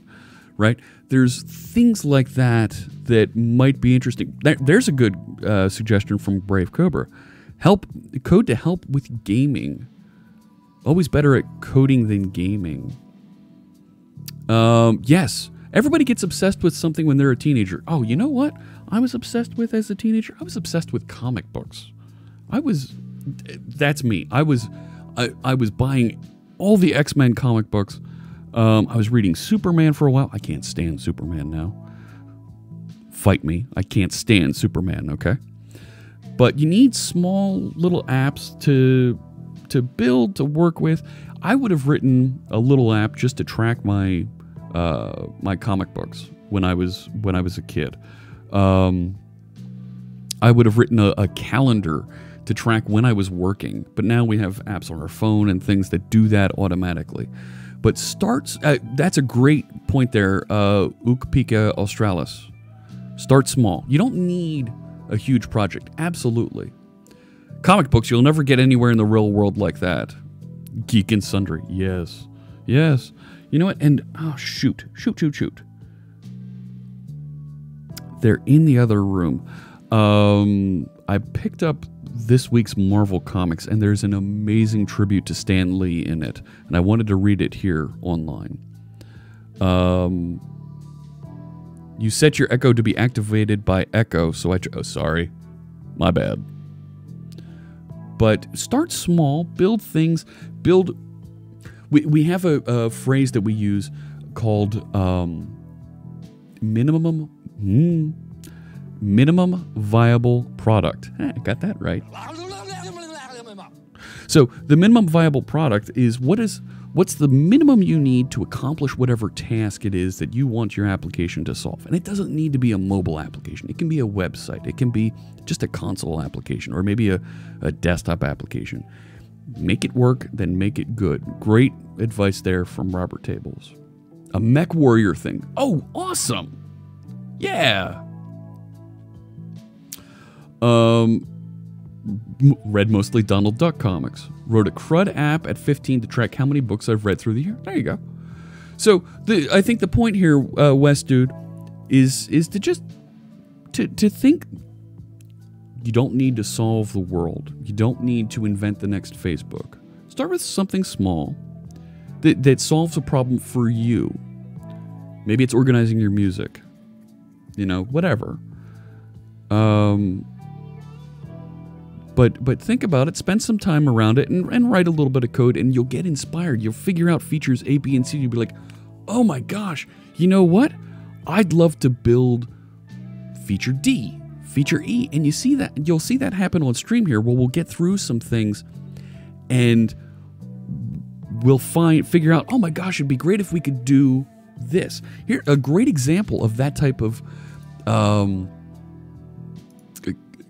kind of organic growth and, and inspiration happened while we were building this project to, to get pictures of my oil tank in the basement, my hideous old beat up oil tank in the basement, and identify um, the volume of oil in the tank. And this is a Raspberry Pi, this thing, that'll be plugged in with a camera. It'll take a picture, upload that picture, and uh, a, function analyzes, pulls off the number that's on it, and and then uh, log that number for reporting in some other applications. And there's a video here you can go to and see it. Now, um, it is not in production. Production being my basement. My basement is production. Get back to that. So, a bunch of folks, as they were watching, said, Here's some pretty cool ideas that might be fun to do. And there were things, as we're building this, like, it'd be great if you could send a text message or even automate a phone call to the oil company to, to say, Hey, we're low on oil. Or send a notification to my Amazon Echo. So, sorry. So that it wakes up and says, Hey, you're, you've only got 30 gallons left. Um, and Hugo even said, You know what? Oh my gosh be great if we had alerts at various levels. Maybe I send an email at, at something, and then a text message, or we send them on some frequency. Right? And then here, Hugo even said, let's let's try to predict based on the weather, you know, and how much oil is used when the weather is a certain thing. Let's try to predict how much oil is going to be used in the future. Really, really neat ideas. But it's it's a thing that has kind of grown out of just the simple problem of I want to know how much oil's in the basement so I can put it on my watch, put it on my phone so I can see because I'm I'm lazy, I'm a developer. I don't want to have to go into the basement and measure this thing. So we get this inspiration by building just a little bit of code and then you see, "Oh my gosh, I can automate this." Okay? Push it to the basement. The cloud, it's in my basement. I hope there isn't a cloud in my basement. That means there's a problem. Raspberry Pis and Arduinos are a great way to get back to simple computers like the ones when professionals started coding. And uh, I'm all right. Great segue. That's some of the neat stuff that our friend Node Botanist does, where they're taking these little these little uh, circuit boards and and putting them together to to solve a little bit of a problem, right? More than just let's light up an LED. Let's hook up to a sensor and do something. add an appointment in your calendar to call the oil company at a certain level. That's a there's another cool idea, Brave Cobra. Yeah. So I think we're going to come back to this project in the next week or so. What I need to wire up, and it, is Node Botanist still here? Are they still here? Yeah, Node Botanist still still here. Tell me, tell me if this is something that's possible. I have a U. I don't see it here on my desk. It must be on the shelf behind me. Um, I have a USB based light, right? A light that you might plug in so that you can see your keyboard or whatever. What I'm thinking, listening, see that Node Botanist is listening. Uh, for real though, Node Botanist. But what I do have skills. They've got a very particular set of skills. I've acquired over a very long career. Very long career. They've acquired them and they're able to kill things. No. Um. Anyways, so what I'm thinking is have that USB based light, right? And I've got four USB on the back of the Raspberry Pi. You can see it there. So I'll plug into one of them the camera, but if I plug in that light into another, it's a USB based light. Can I control the power so that I turn it on right before I take the picture, right? Because if, if it's dark in the basement, you won't be able to see it. And then after I take the picture, turn it off.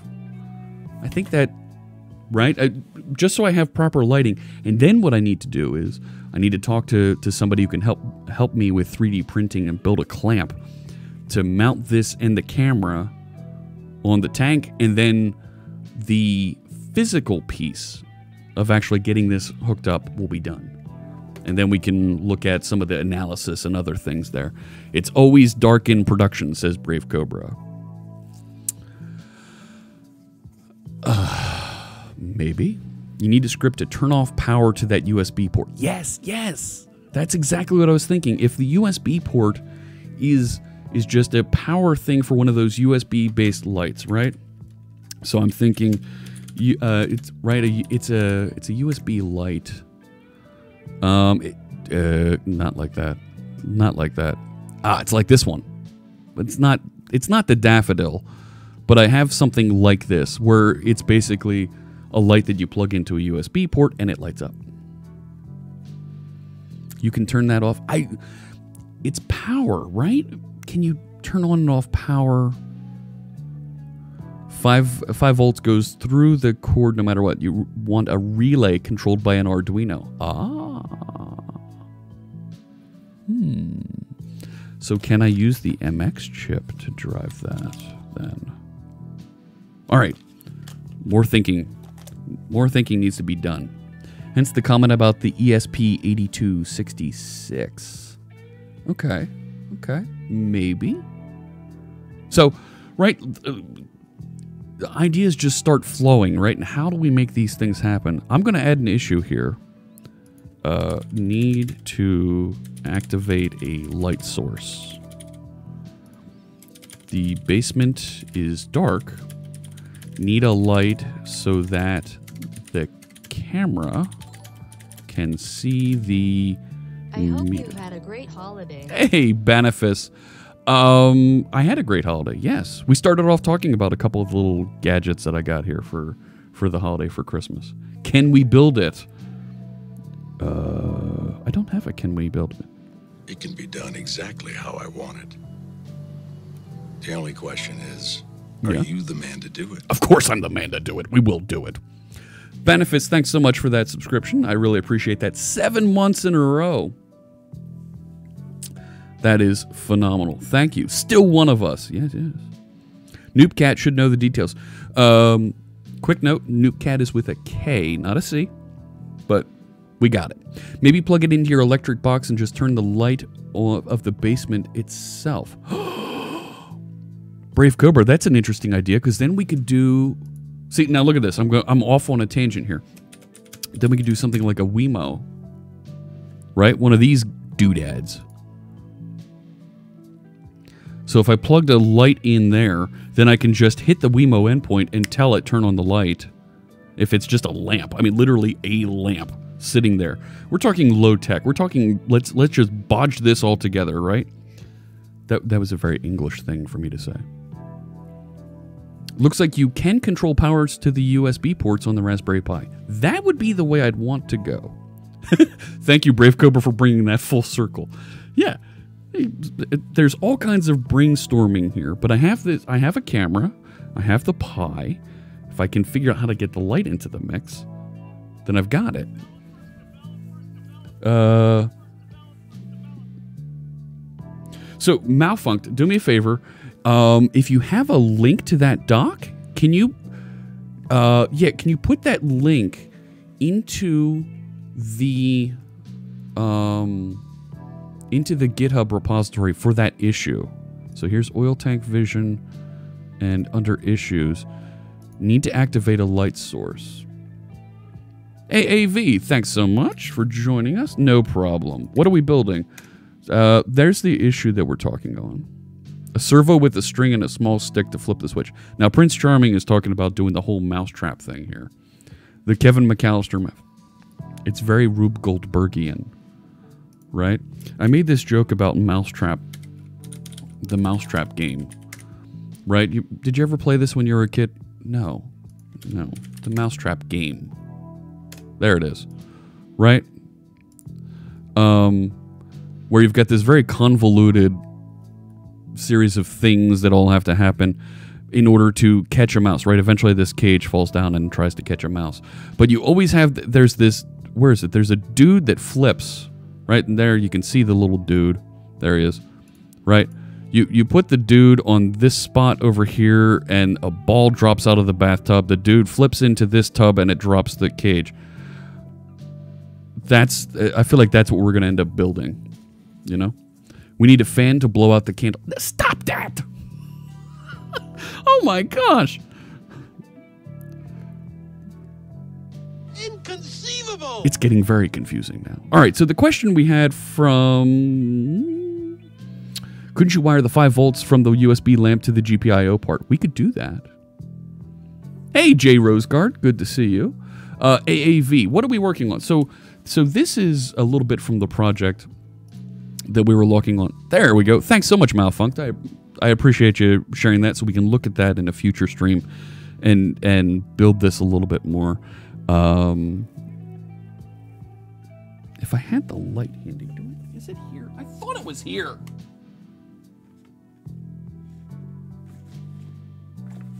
Is it on my shelf? All right, I will. I will assemble the gear, and I think tomorrow we'll work further on this Raspberry Pi.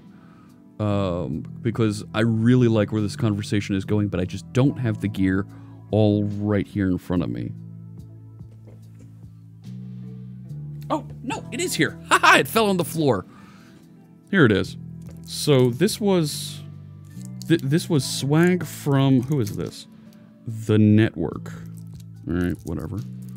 Um it's still got a little piece of plastic on it. Let's get rid of that. So you can see it's a let me let me zoom out here a little bit so you can see. Uh hi, how you doing? So this is right it, it's a it's a light on this side, okay? And there's a USB A connector on that side. So what I'm thinking is, right, plug this deal in here. And then, right, because it's got this flexible thing, I can kind of use this to light the gauge. And if what Malfunct is suggesting here works, you can't perform the add action at this time. Bull donkey. Um, turn USB. Do you if there's a command to turn off the power on any of the attached USB devices, use an inline hardware switch. This might be enough. Echo 0x0 onto that to disable. Now, will that disable all of them? I only want to disable one because I don't want to disable the camera.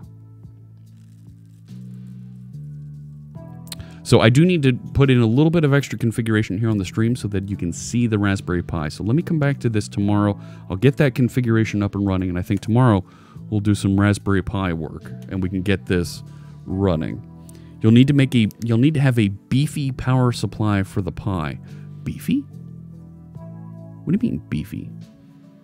Rolling on the floor. I I bought what you said about the mousetrap game. It is. It's very mousetrap. Look at look at how this thing works. Right? So go back here. Right, it does these four steps. Wake up, take a picture, upload the picture to Azure. Serverless function wakes up, sends it to cognitive services for analysis, detects the number, and then save it into table storage. It's very, very Rube Goldbergian. Yeah, Rube Goldbergian. There you go. Right? Um, Rube Goldberg. Right, and Rube Goldberg, right, was a right was a um, cartoonist, sculptor, author, engineer. Designed all these funny machines. Not this guy, who had this theme. That's a different Goldberg, right? No, different Goldberg. That that's the wrestler. We're we're not talking about him. Um, but this Goldberg. No, don't play my intro. And now I stop the music. Oh my gosh, too much going on. Here we go. Um, so designed all these weird machines that would do just crazy, crazy things, right? All kinds of stuff that they weren't right weren't designed to do. Self-operating napkin. Look at this. Right, moves his elbow and it triggers a thing that throws up here, and a bird will reach out and grab that, and it spins this that does a thing over here, and eventually, look, there's a rocket that takes off, cuts a wire that eventually wipes his face. That is just plain, plain stupid. Throwing an animated GIF in that website could have been made on GeoCities. Maybe. Um, what a British phrase. Yeah. The summary of what's on that page is that you can turn off power to the internal USB via software. Fantastic. The the issue that we need to address. Hmm. Hmm. Um, Mrs. C Sharp Fritz's. Ah, she's got a quick question for me. Uh, let me answer this real quick. Um, there we go. Uh, there we go. Right? Are we all good there? Okay. Um, so let's see here. Maybe some frames. No. IoT fridge tracker. That would be neat to build, but no, don't need that. The USB hub, so all its ports are all are on. So that means it would turn off the camera also. Hmm. That might be too much. Triple Fun says, "Hello, just came in here. Why don't you use Art and Arduino for this?" Um, I could use an Arduino. I have. I'm using a Raspberry Pi. Um. So, right, that would be a second device. I'm, I'm trying to figure out how to use one device, and the the comment here about activating a light source. So this looks like it turns off the entire, all USB off, including built-in Ethernet. Mm, that might be a little bit too much to turn on and off. Um, because I, I need the camera working. I want to take the picture and then with the... Oh, no, wait a sec. I need to turn the light on. Oh, wait a sec. Wait a sec. I, I like how you're talking to the fridge there, Robert Tables and Node Botanist. Might want to start an FAQ at this point. Let's... Hmm, let's think about this. So, um, right, so we're going to wake up. We're going to uh, wake up on a scheduled basis. Um, turn on the USB, including the light and the camera, because they both need to be on at the same time. Take the picture.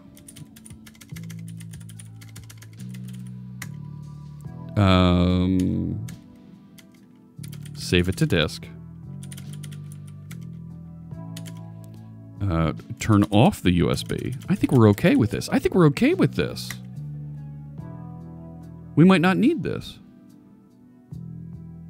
No, what is that? What's that GitHub uh, link? Where are we going here? Some sort of a cron library. Well, we can use the cron on the Pi. USB hub per port power control. Well, I think we might we might not need it. Hmm. Uh, we don't need that mousetrap. So just finishing thinking this through, we can turn off the USB um, and upload to Azure. I think that works.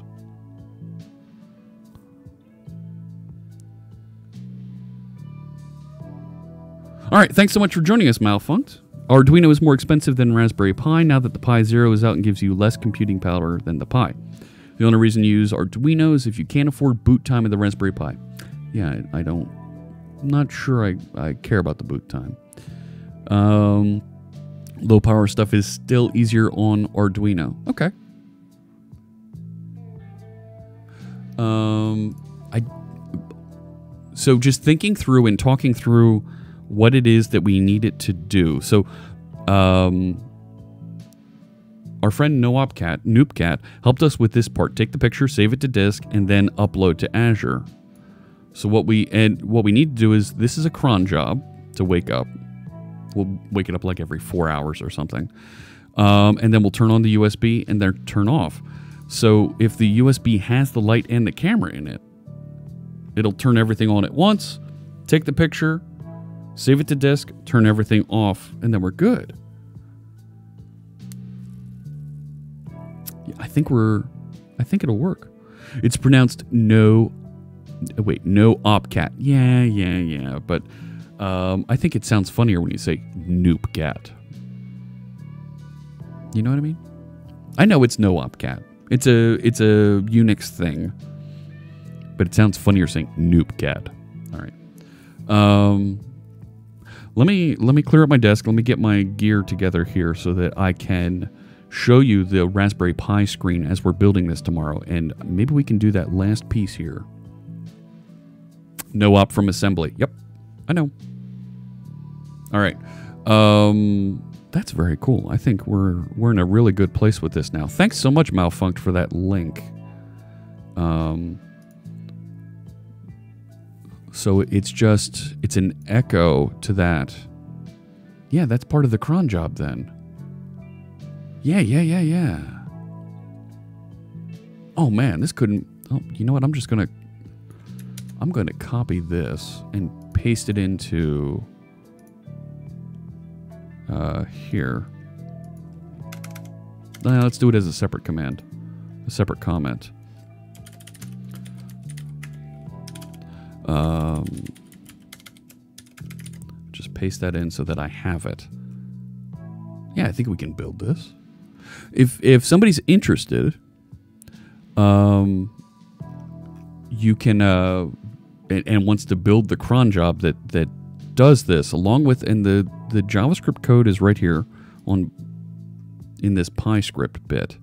If somebody wants to build the cron job that goes along with this and stash it on the code, you're more than welcome to, and we'll take a look at that code on tomorrow's stream. Uh, Sky High AF2, uh, thanks so much for the follow. I appreciate you joining us here. Um, how would you test it without the hardware? I don't know. That's just it, right? I, I'm going to need to walk through that hardware and and get that right. I want to be able to show you that and show it working here. So I need to uh, I need to get stuff hooked up here so we can actually work with the Pi. Uh, what will you use as a visual? Um, I have some. Yeah, mock the hardware is a little bit tricky to do at this point. Um, but what I think we can do, I, I have some pictures of the gauge that we can kind of set up and test with. Um, all right. You know what? I think I think we're about out of time. Yeah, we're we're over when I wanted to run until. So we didn't get down into the Visual Studio extension, but I'm thrilled with the conversation around this device. I think we need to go after that tomorrow a little bit. That'll be a lot of fun, building and working on that. Um, yeah, Fritzbot shouldn't have ans- shouldn't have tried to answer that question.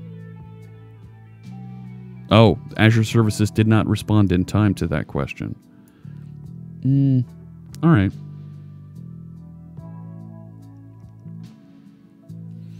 Uh, let's see here. Uh, one of my local Microsofties has a demo where she takes a photo of a fruit with a Pi, uploads it to Azure, displays an emoji based on Azure Cognitive Services. Yes, I've seen I've seen those demos. They're very neat.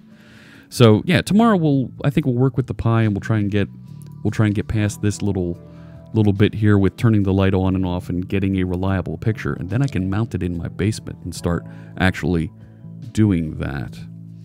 Um, all right, let's uh, let's wind things down here. Let's see who's out there streaming. If there's somebody, um, what project will you build this in? Raspberry Pi doesn't work with everything in Visual Studio. Ask Triple Fun. I'll use Visual Studio Code along with a little bit of Node that our friend uh, Noopkat wrote, and we'll uh, we'll work with that a little bit. An RPi project for monitoring your oil tank. That's awesome. Just about just about to start working on an RPi project for monitoring the state of my garage door. There you go.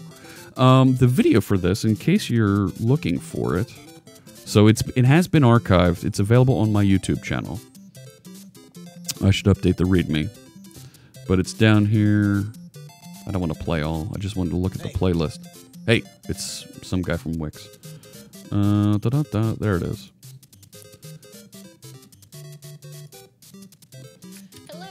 Hi, who are you? Best iOS development course. No. Go away. There it is. So this is from when we were working together in Las Vegas at Dev Intersection.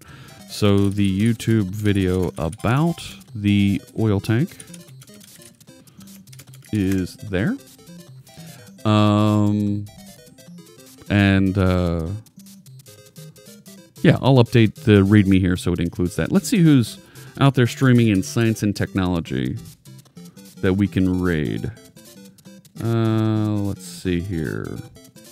Who's doing something cool that we can continue with? Cosmos and uh, Carl Sagan are out there broadcasting. Hmm. Uh, let's see. Rev Chumley, 3D printer repair. Hmm. Uh, Angular CLI with a SignalR app. Ooh, that sounds interesting. No, CodeRushed is not streaming right now. Um, Let's uh, billions and billions of subscriptions. Yeah. So uh, I think yeah, let's raid. This is this is live or dev trying, and he's working on uh, an Angular CLI SignalR app. So check it out. Let's uh, head over there and throw a raid to live or dev trying.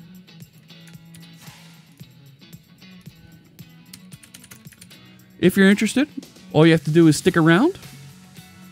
I'll be back tomorrow, but everybody's going to be heading over to live or dev trying. We'll be back tomorrow. We'll talk about Raspberry Pi. We'll talk about some of the things that we're trying to accomplish here with this oil tank project. Um, and uh, video today's video will be available a little bit later on YouTube. Thanks so much for joining me. We'll see you then. Take care.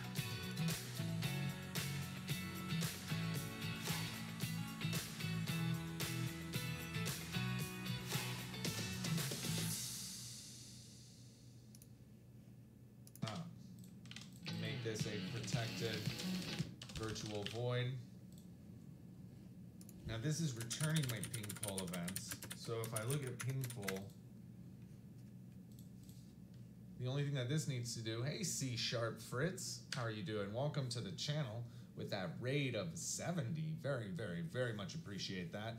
How are you doing today, C Sharp Fritz? In case you guys don't know me, my name is Rob. I'm streaming during the week, a little bit during the weekend. We're working on uh, an Angular CLI app called OpenDJ Radio.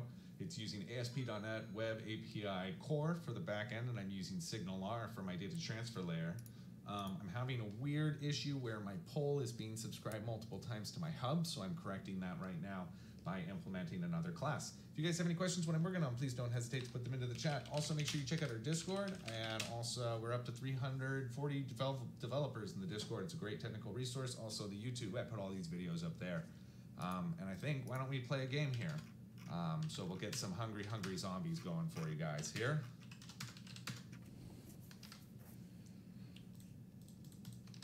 And we'll do an should start now. Oops, I need to